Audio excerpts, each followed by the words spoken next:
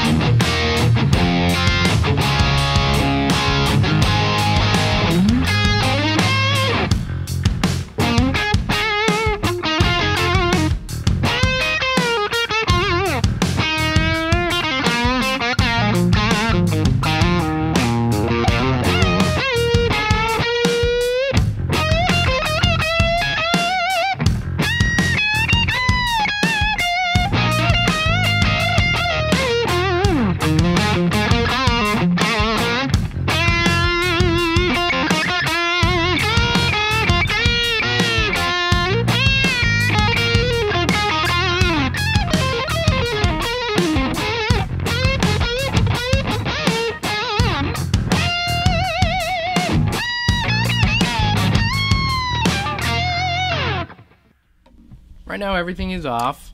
Here is the Bassman, um, just in the normal channel.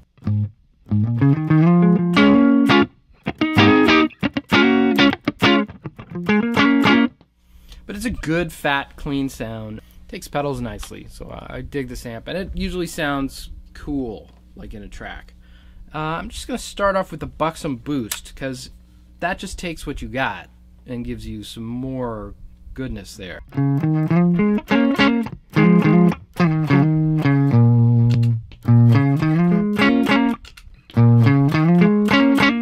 That's pretty transparent, uh, even though I have a little bit going on. It just clears it up a bit. Yeah, let's give it a little, little jam.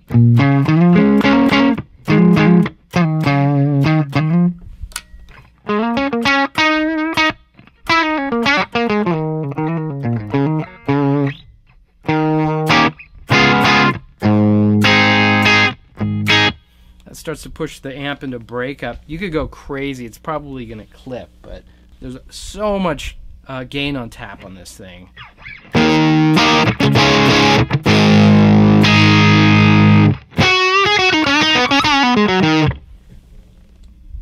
Yeah, like I said, it's a lot of gain on tap. Now this is cool because you could take the e- this top EQ out of circuit if you want a very clean boost, or uh, you just want to be able to use that glorious tight knob.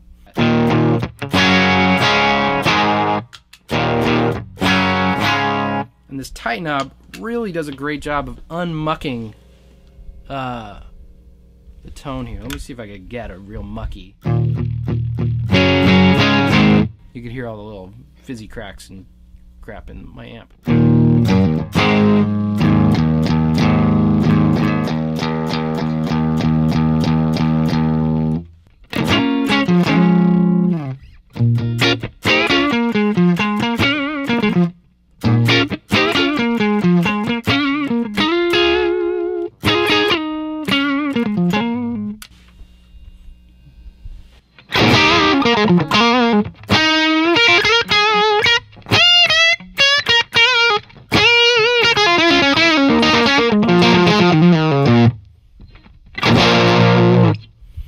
I really like the sound of the front end of the amp just getting blitzed. It's great. Like the tight knob almost always can make things a little better. Uh, it's great. This new guy, the Golden Pearl, every time I kick it in, it feels like it adds a little more energy and a little more aggression to the sound, even if it's sort of clean like.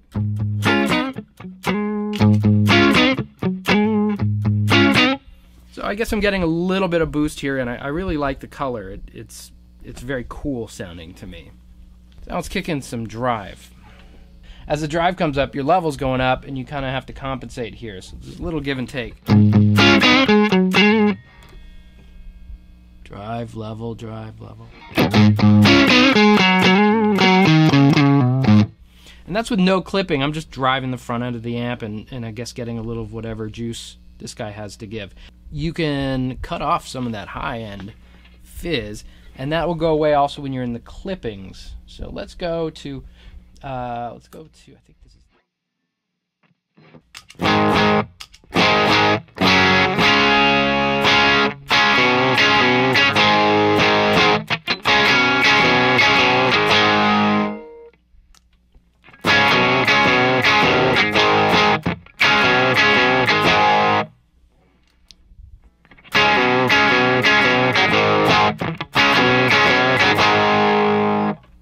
That at the bottom setting. Let's try this other clipping mode.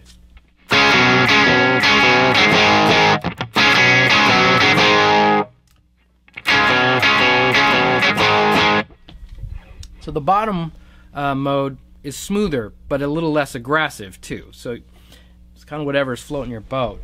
Uh, let's let's get lots of gain. We're in a high cut down. The voice is down.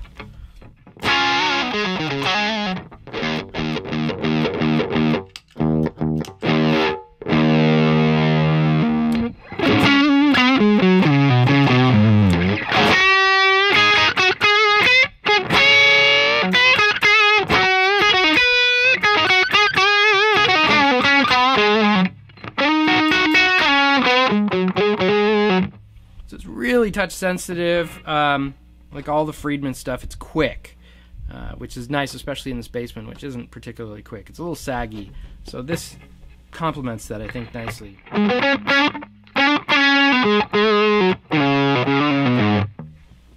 And I'll give the tone knob a little twist here.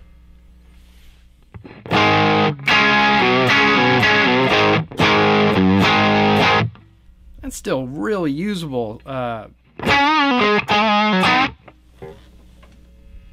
I bet this this will be a bit much.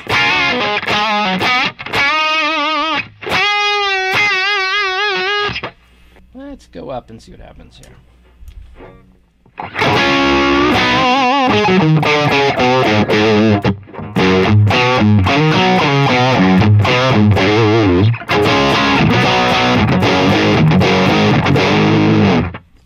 Oh, that's good. On its own, it's not necessarily like a big, smooth, gooey thing. It's edgy and raspy. You crank up a AC30 or like uh, maybe a, a, tweed old Fender, and you get that sort of get all the nastiness around the big fundamental tone. That's what I kind of dig about it. And I think in the track, it's going to really sing and be aggressive in a super cool way. Now, the Dirty Shirley uh, is not unlike its amp uh, namesake. Uh, it's fat and uh, big sounding.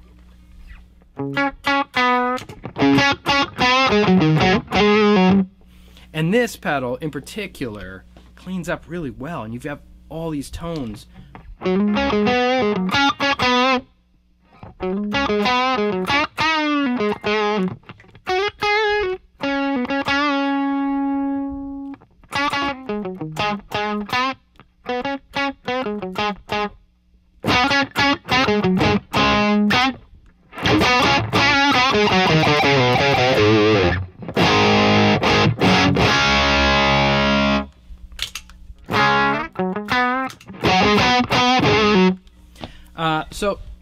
Guy, to me, this pedal comes alive when you just turn the bass on full. And then that sounds to me like the Dirty Shirley. Of course, there's times you're not going to want that. Uh, but nice, they included semi-secret tight switch, which is over here on the side. I don't know if you can see that too well behind the cable. So right now, the tight is out. Turn the tight on.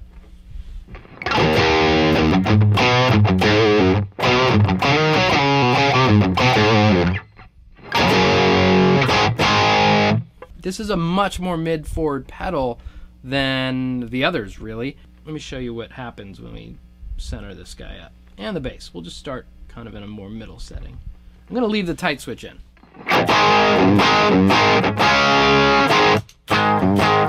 Let's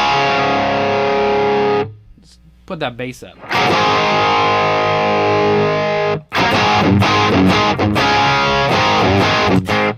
Oh. And let's crank the mids and see where it, it's sitting.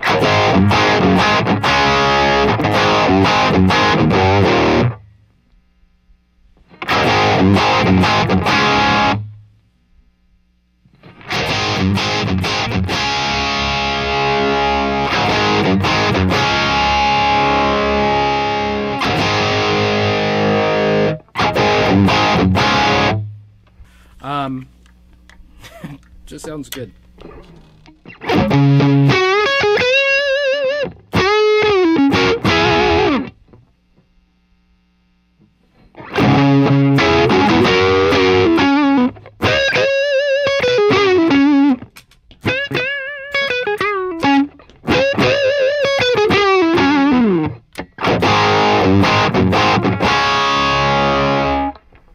The BEOD. This amp, maybe not the best pairing for it, uh, but there's some cool sounds in here nonetheless.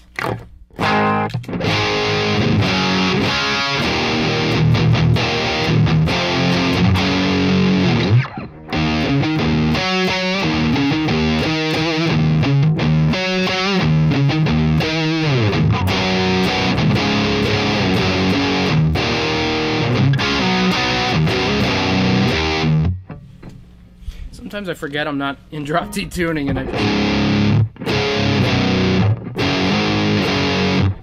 Man, I like it anyway. I don't care. How much bottom end is happening?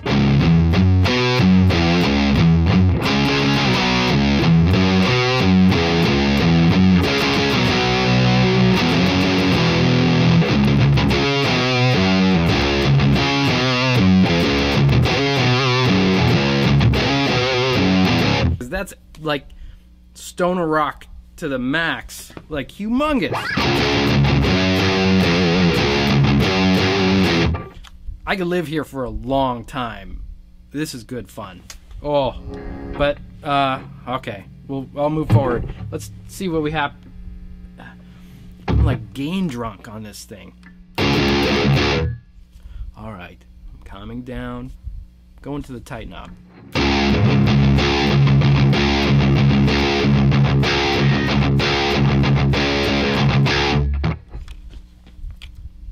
A long way to turn on a tight knob, but it sounds great. And I know this will sound much more realistic in a track where there's room for a bass player.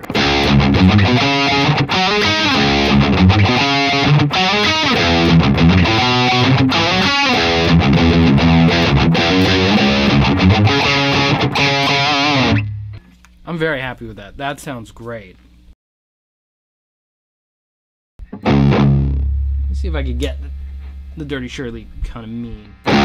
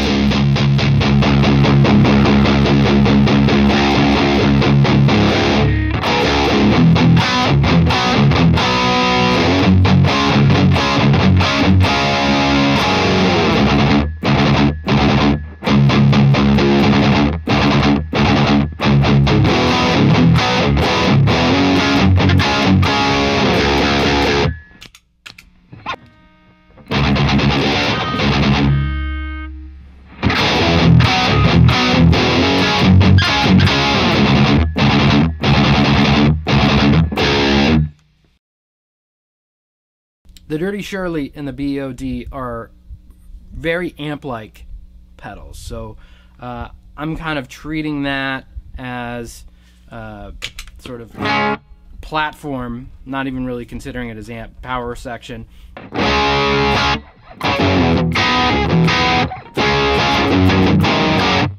got the Dirty Shirley set up basically like an amp, and now I could give a little boosty boost in front of it with either the Golden Pearl or the Buxom Boost.